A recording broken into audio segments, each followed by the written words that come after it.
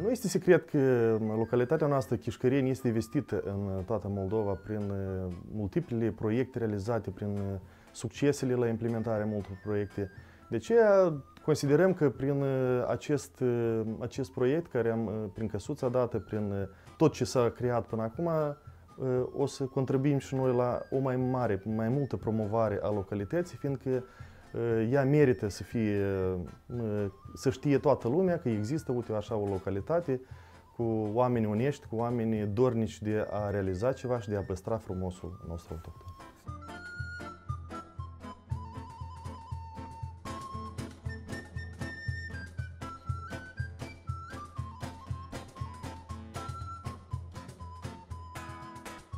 Suntem la început de cale, adică nu am elaborat un price list, ceva, adică ceea ce ține de prețurile pentru prestarea serviciilor și așa mai departe. Deci noi suntem în așteptarea ofertelor, însă pe parcurs ne vom aprecia ceea ce ține de tarifele la cazare, de... ne vom stărui pe parcurs să oferim și alte oportunități, prezentarea unor obiective din localitate, adică pe parcurs o să vedem cu oferirea bucatelor tradiționale, adică la dorința și la solicitarea clienților, hai să spunem așa.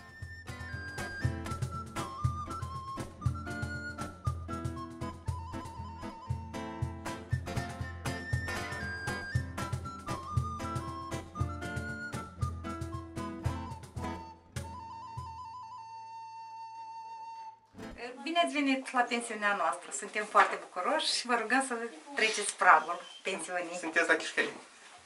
Așa, vă rugăm. Intrați. Aici este primul dormitor, casa rurală a noastră, care poartă numele La Bunica. Este format din patru dormitoare.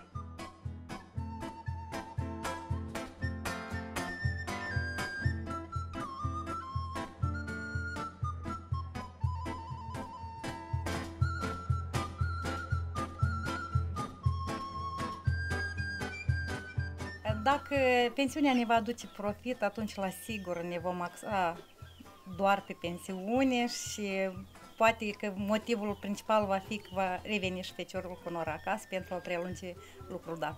În primul rând, e casa părinților și ar fi păcat să, să o lăsăm să se rispească așa.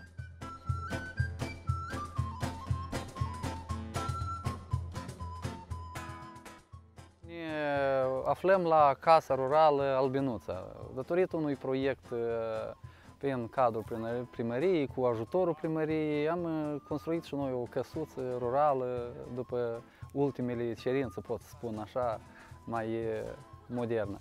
Și în plus la toată căsuța asta rurală mai avem o căsuță pe unde omul poate să se culce și să primească o doză de energie de la uh, albini.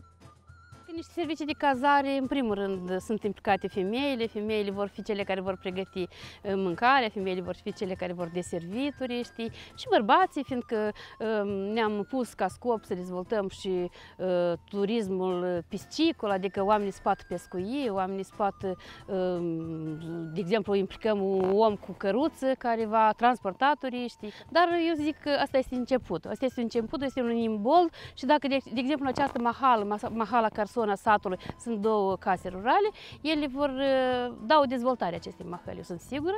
Uh, aici chiar tinerii din această mahal s-au acumulat și vor să, să amenajeze un scoar, un loc pentru oaspeți, un loc pentru un concert, aici sunt foarte multe talente. Asta va da o dezvoltare în general satului.